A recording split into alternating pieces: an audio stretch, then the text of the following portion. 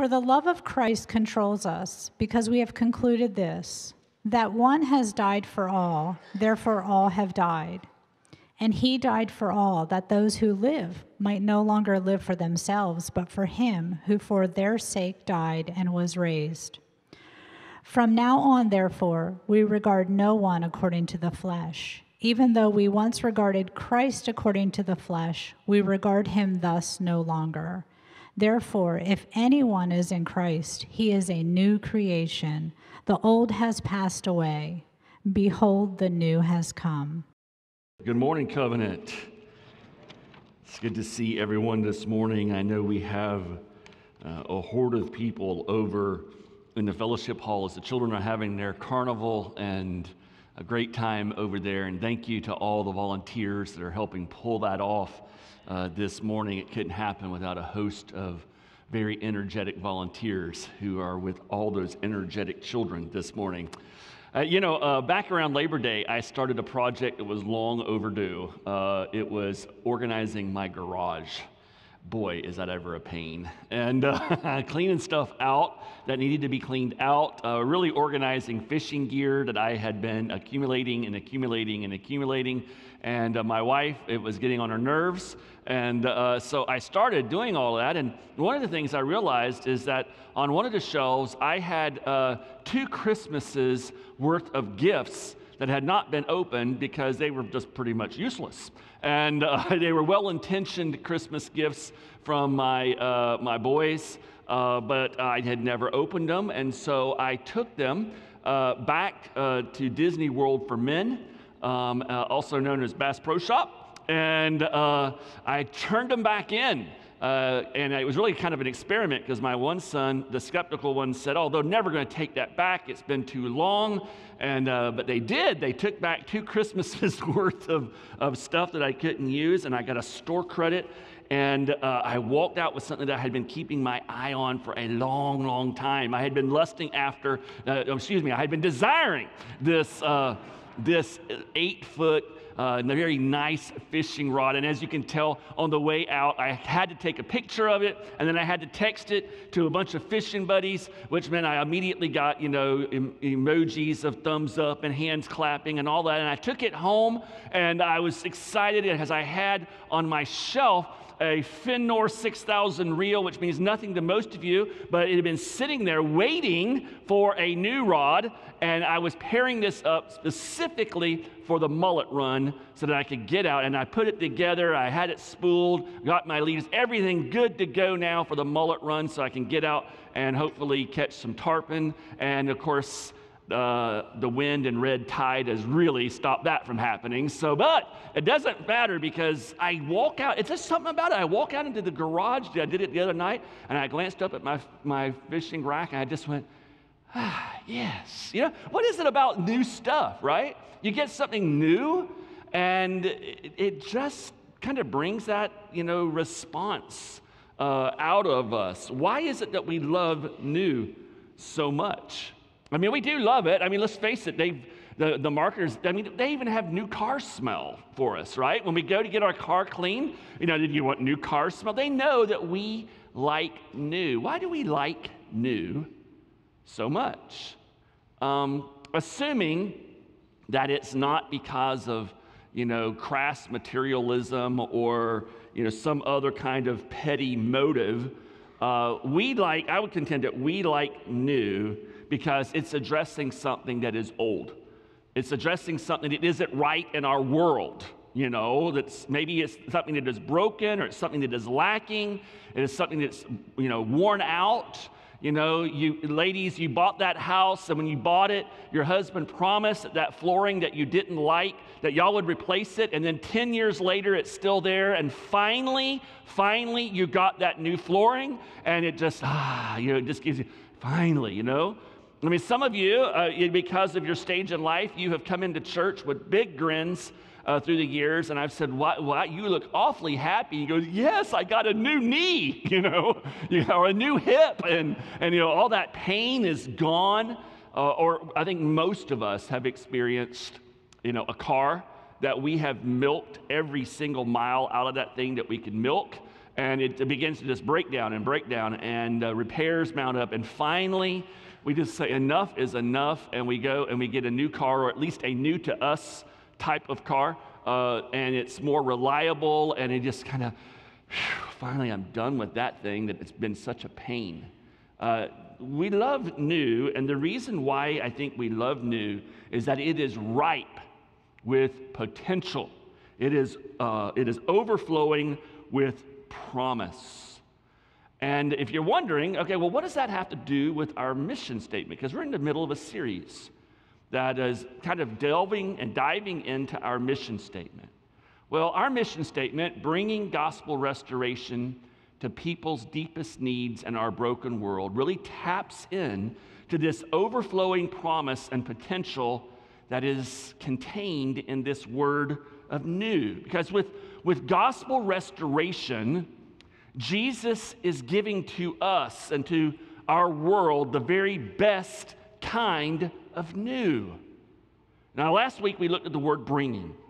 The fact that because, you know, we have experienced that love of Christ being poured out in our life, and He's died for us and uh, rose from the dead, and we now belong to Him and we live for Him. We're, we're His ambassadors. We bring, either bring the gospel to people or we bring people into the gospel community as His ambassadors. That's bringing. But what are we bringing? We're bringing gospel restoration.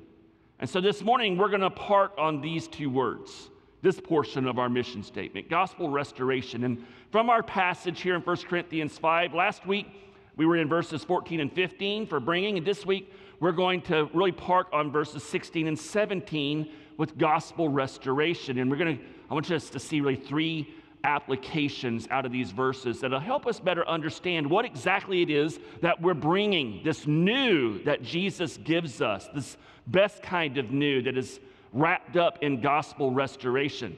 Before we do that, though, let's, let's make sure that we're kind of working uh, with the same understanding, singing off the same sheet of music, so to speak. You know, let's don't assume that we are uh, defining words the same way. When I say gospel or I say restoration, so for example, restoration, you know, that, that word restoration speaks to the fact that things are, are disintegrating and they're broken and they need to be made whole.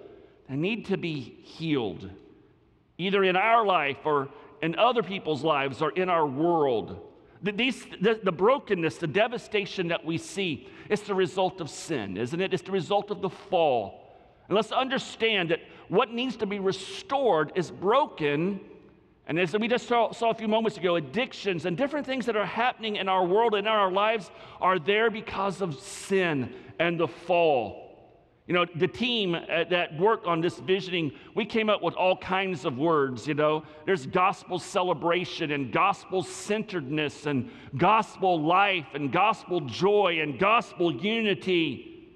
And all of those things are wonderful things to desire and experience. But understand something that until the devastation of sin is addressed, those fruits of the gospel will never be experienced in our lives or in our world. So, this word restoration is an important word. The word gospel is important. What does that word gospel mean? Again, we talked about a lot of different words. Why not Christ? Bringing Christ to people's deepest needs. Well, well, that word Christ or bringing the cross, well, that word gospel is an all encompassing word that describes the person, the work, the message of our Lord Jesus Christ. Church, this is Reformation Sunday, right? Uh, around the world, Reformed churches like ours celebrate the Reformation in different ways. And the Reformation had at its heart what are known as the five solas, right? Sola scriptura, only scripture. That's what we rest upon. And sola fide, faith alone, is and grace alone, sola gratia, is, is how we come to salvation, and sola deo gloria, for the go- glory of God alone. There's another sola, it's, it's sola Christus, Christ alone. Christ alone. Let's understand something, church. Let's make no mistake about what the cure is to what ails our world. It is Jesus Christ.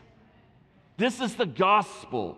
This is what Paul says in 2 Timothy chapter 1 verses 9 and 10. He says for God saved us and called us to live a holy life. He did this not because we deserved it but because that was his plan from before the beginning of time to show us his grace through Christ Jesus. And now he has made all of this plain to us by the appearing of Christ Jesus, our Savior. He broke the power of death and illuminated the way to life and immortality through the good news. Let's understand, church, that with the gospel, we are bringing Christ. We are bringing God Himself. We are bringing the power of God into the situation that needs to be addressed. Whatever the brokenness is, whatever the devastation is, when we bring the gospel to bear in that situation, it can be a Christian home that is devastated by sin and the marriage is in danger. It can be a lost person who is seeking answers to life's biggest questions. It can be any number of hundreds of different scenarios, but when we bring Jesus Christ, when we bring the gospel into that situation, we are bringing the power of God into that situation, and that's the only hope. The only hope. This is why the Apostle Paul says to the Corinthians, For Christ did not send me to baptize, but to preach the gospel and not with words of eloquent wisdom, lest the cross of Christ be emptied of its power. It's the foolishness of the gospel that God uses to change and address the brokenness that's in our world and restore people. So these are foundational principles that we have to understand if we're going to understand our mission statement. There's another foundational principle that I just want to give us before we dig into the passage, and, and that's this about gospel restoration.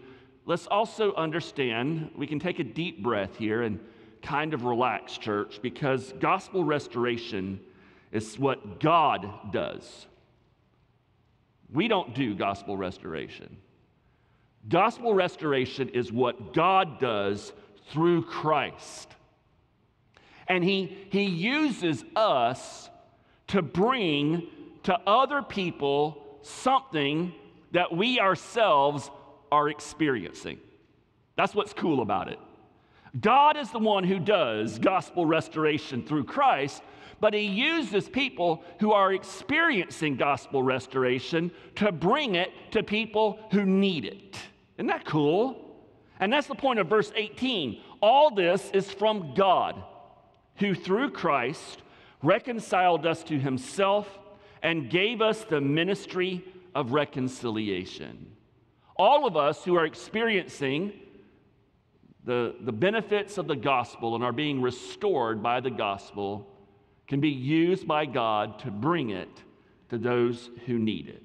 So, with saying all that, just kind of laying, I just wanted to lay that groundwork so that we are kind of operating on the same page, let's dig into the text. Let's see this gospel restoration that Jesus gives and why it is the best kind of new that there is. There's three applications I want us to see this morning. Beginning in verse 16, first of all, with gospel restoration, Jesus gives us a new perspective on people and on our world. Look at verse 16.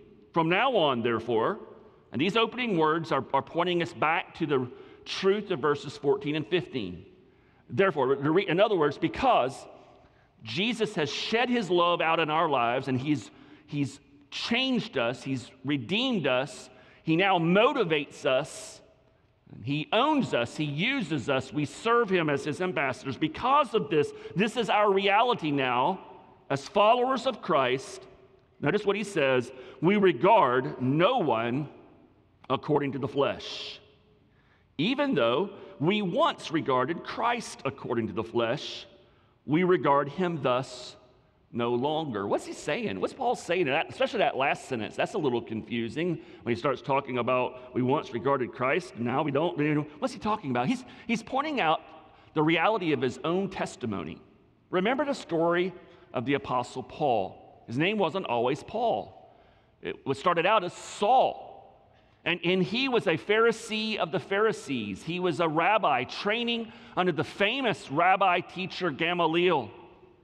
Uh, he was well acquainted with Jesus and the teaching of Jesus and, and the, the, the followers of Jesus. And we're introduced to him first in the book of Acts. He is not a believer, he is a persecutor of the church. And, and he is devastating the church. The church, Christians, are scared of Saul because he has the authority of the Sanhedrin and he's going from city to city and he's arresting Christians and they're being tortured and they're even being killed. He hates Christianity. He hates Jesus Christ. When he looks at Jesus Christ in the flesh as a human being, all he sees is a fake, a fraud, a pretender. Someone who claimed to be the Messiah but it was impossible for him to be the Messiah because cursed is everyone who hangs on the tree.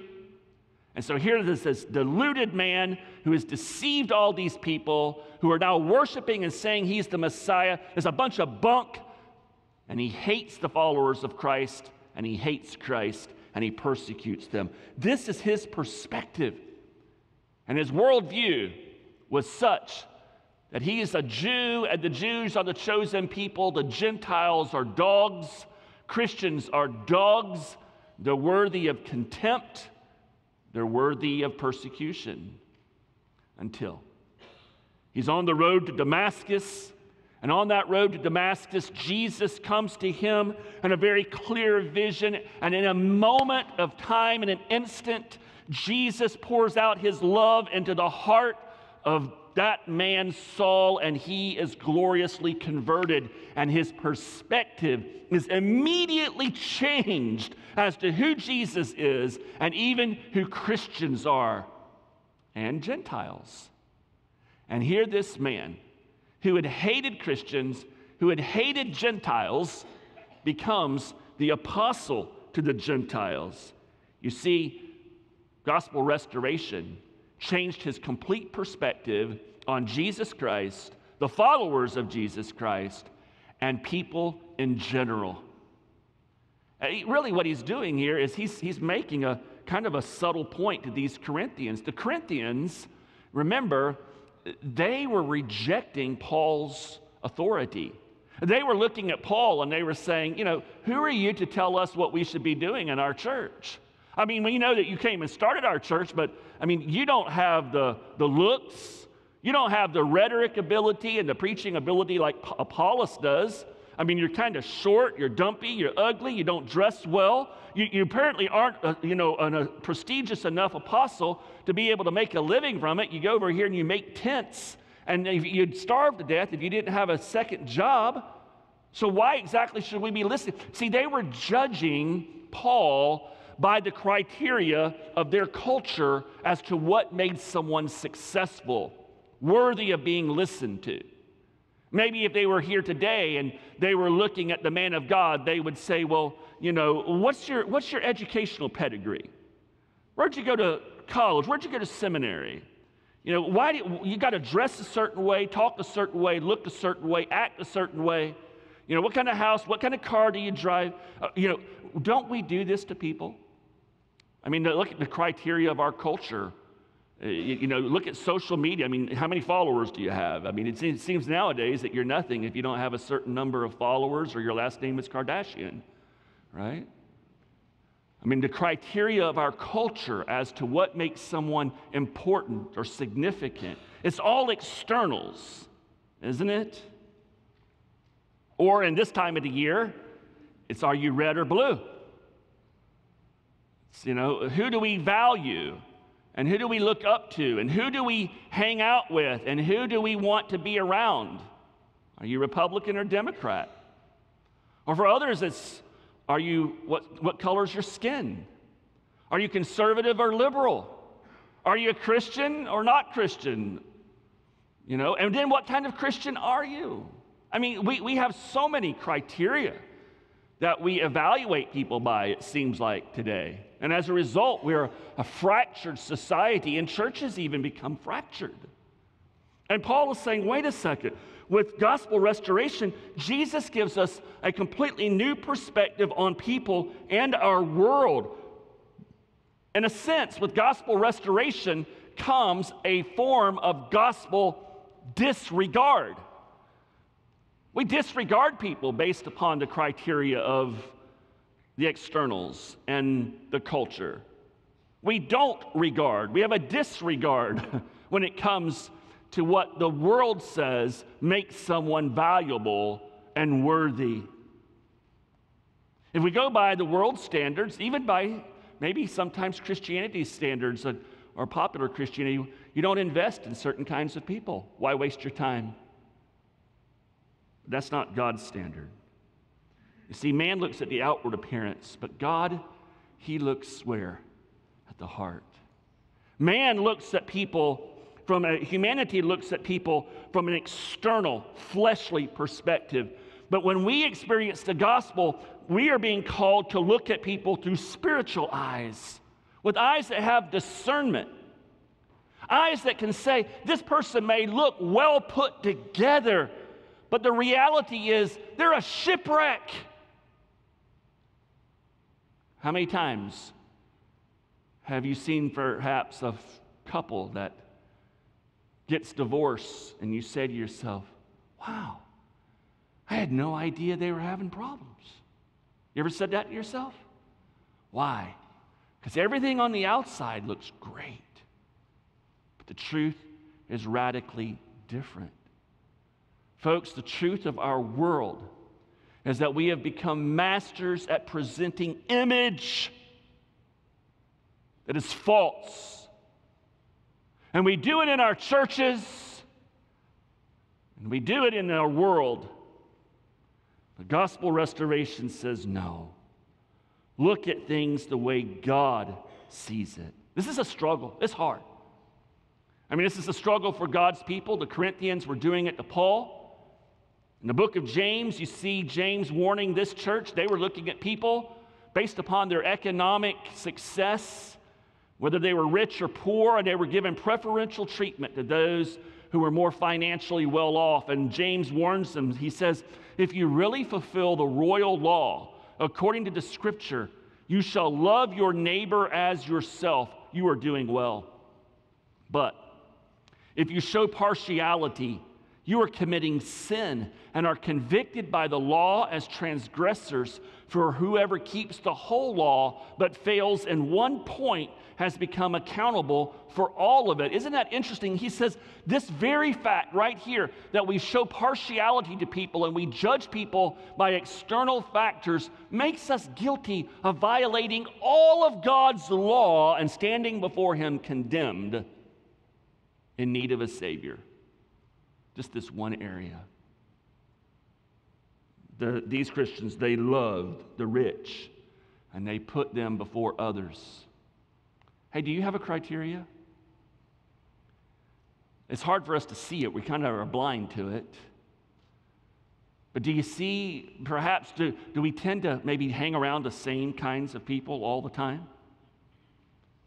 Do we uh, socialize on Facebook or in other places with always the same people who have the same opinions, the same mindset? They look, talk, act, everything just like we do? We're, we have 321 that we're praying for, and we're having a hard time praying for three people that are in my life who are lost. There's your sign.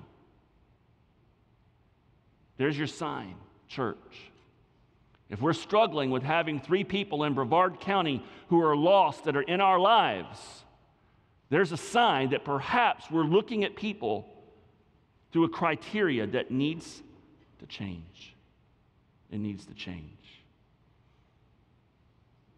The old criteria, fleshly criteria, has to die. Paul says with gospel restoration, we will begin to see people the way Jesus calls us to see them. And how does he call us to see them? He calls us to see that He died for all people, all kinds of people across the spectrum of humanity. Jesus died for them. We cannot sideline anyone. People with tattoos, people in the gutter, people in the mansion, people with advanced degrees, people with no education, people who are rich, poor, and everything in between, people with nice cars, lousy cars, people who are just cantankerous, mean cusses, and people who are polite Southern belles. You name it. Jesus died for all of them. And he calls for us to be ambassadors to all people. With gospel restoration, not only does Jesus give us a new worldview and perspective on people, secondly, and this is neat, he gives us a new nature and identity. Verse 17, therefore, if anyone is in Christ, he is a new creation. Therefore, if anyone is in Christ, he's a new creation. Paul, eh, in, describing this new that Jesus is doing in our lives through the gospel, he reaches all the way back to the book of Genesis. He pulls from the power of creation what, what God is doing in the opening pages of the Bible to describe what he's doing in our lives. He began this in chapter 4. In chapter 4, he says to the Corinthians in verse 6 For God, who said, Let light shine out of darkness, has shown in our hearts to give the light of the knowledge of the glory of God in the face of Jesus Christ. Do you understand what he's getting at here? He's saying, hey, Christian, this is what's happening to you. This is the type of new that Jesus is bringing into your life. Jesus, this person who created order out of chaos, who brought light out of darkness, he's using that same power to recreate and restore your broken, devastated life. And in doing this, this power of God that, that He's unleashing in your life, what He's doing is He's giving us a new nature, a new identity. And with this being the way it is, things cannot stay the way they were. We have to understand things are now changed. We have to live differently and see our life differently because we have been made radically different through this power of God in our life.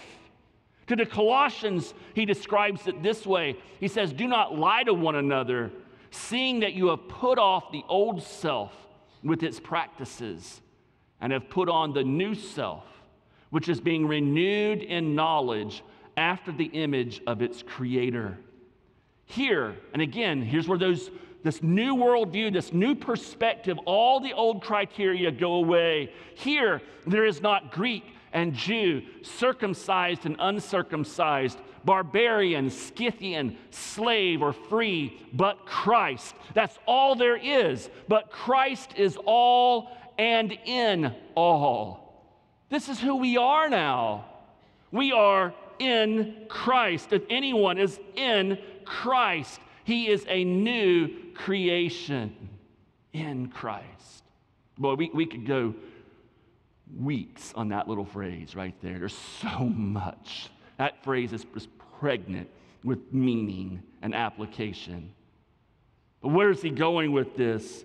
In, in other words, we get our life, we get our motivation we get our words, we get our thoughts, we get our worldview, we get our power, we get our encouragement, we get our motivation from one person, Jesus Christ. How does it happen? I gave you this verse a few weeks back. I am the vine, he says. You are the branches.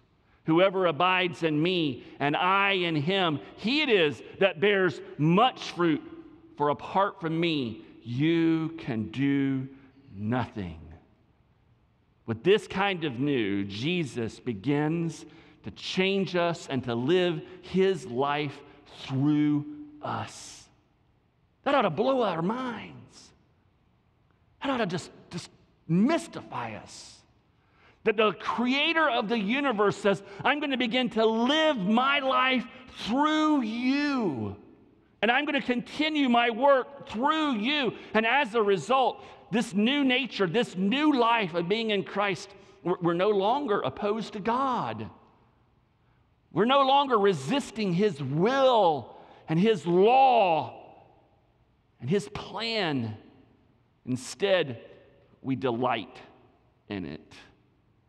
This is the result of the change that has worked in our lives because we're a new creation who's in Christ. Hey, can I ask you this morning?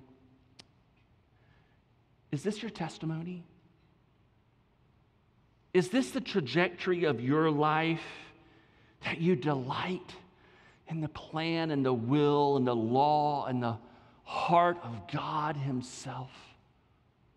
You know, it happens at different rates of speed. But this is the story, this is the storyline of everybody who is a follower of Jesus Christ. This is the trajectory of every one of our lives. This verse describes every one of us if you're a follower of Jesus Christ. This is not describing the trajectory of your life. If you do not see in your life this love of God and His will and His plan and His law, and if it doesn't delight you to live for Christ and I see Him living through you, if that doesn't energize you and encourage you and delight your heart and fill you with joy, it's because you've never experienced this redeeming grace of the Lord Jesus Christ. And you're deluding yourself. You're involved in religion and not a relationship with the creator of the universe and the Lord who died on the cross for us. Hear that this morning, church. This verse has to be, it has to be the testimony of all of our lives. If anyone is in Christ, he is a new creation. With gospel restoration, Jesus gives us a new perspective on people and on our world. He gives us a new worldview. He gives us a new nature and a new identity. And finally, in verse 17, at the very end of this passage, of this verse, Jesus gives us a new freedom and a new destiny. Therefore, if any man is in Christ, he is a new creation. Now, notice what he says the old has passed away. Behold, it's a word of excitement. Behold, the new has come. You know, Paul is, in this whole verse, he's been reaching back to the Old Testament. With creation, he's reaching back to Genesis. And even in this part, he's reaching back to a, a thread that runs through the entire Old Testament, a promise that is here. In Exodus, it appears when Moses says, There's going to come one who will be greater than me. And, and, you know, here he is. He's, he's leading the people out of the bondage of slavery in Egypt. And Moses says, There's coming someone who is going to lead you into a greater exodus than the one that I'm leading you. And then when you fast forward into the prophets, when, when Jerusalem is taken into captivity and they're put into uh, exile, they are promised a day will come that you will be restored back to Jerusalem and to the promised land, and the city and the temple will be rebuilt. But guess what? There's coming a day, the prophet says, when an even greater restoration is going to come. In Isaiah chapter 43, for example, God says, Remember not the former things, nor consider the things of old. Behold, there it is again. Behold, I am doing a new thing. Now it springs forth. Do you not perceive it? I will make a way in the wilderness and rivers in the desert. And he's pointing to the fact that one day he's going to restore it all. And his kingdom will come. And the Israelites, they read this and they yearned for it. And then Jesus comes in Mark, for example. And he begins to preach the gospel of the kingdom. God has now broken forth into this plane and he's establishing his kingdom. Oh, great! The restoration has been promised, is here. But they didn't understand. No, it's just gotten inaugurated, it's not going to be fulfilled yet. And then there's this passage in the book of Romans. I love this. In Romans chapter 8, and here's this whole idea about how the new has come and this promise that is in this word new, this destiny, this freedom that we have, and the role that we play. In Romans chapter 8, Paul says this to us. He says, Understand, Christian, because you're now in Christ, you've been, you've been adopted into the family of God. You can cry out, Abba, Father. You belong to the Heavenly Father. He's your dad. You are a joint heir with Jesus Christ. Do you know what this means? This means that in all of creation, you are the down payment for the restoration of all of the universe. You are, you and me, as followers of Jesus Christ, we are God making a down payment on this promise that He made in Isaiah chapter 43. And so, all of the universe and all of fallen creation that is suffering from death and from the effects of sin, it says in Romans 8, they look at us and they go, Yes, yes, our restoration is right around the corner because look at these men and women who have been given this new identity in Jesus Christ. When Jesus gives us gospel restoration. He gives us the very best kind of new there is. And as he says at the end of the passage, the book of Revelation, Behold, I am making all things new. This storyline runs through the Bible. We love new. We yearn for new. And sometimes our yearning for new, it, it may be because of crass materialism and wrong motives.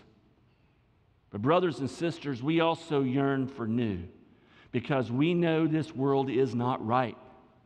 It is broken and it is devastated and it is disintegrating because of sin and so we should love new because when we get that new, whatever it may be, in its right form, it's just a little taste of what our Lord is actually up to. He's making it all new. And you and I were the down payment on that new. Amen. Lord Jesus, thank you. Thank you for doing this work, this new work in our lives. We don't deserve it, as you point out in 2 Timothy. Before the world even began, you, you called us out and you created this plan to restore us, to redeem us, to conform us to the image of your glory, so that we could know immortality and experience the grace that only you can give. We thank you for the new you're doing in our lives. And Lord Jesus, I would ask that if there's one here this morning who this story is not their story at this point in time, that you would remove the blinders, that you would give them a heart that yearns for you, Lord Jesus, that you would shed your love out upon them in such a way that they would be drawn irresistibly to you and that they would see that truly you are the one who can make all things new, that you can restore and rebuild the most broken and give eternal life. For your glory, I ask these things. Amen.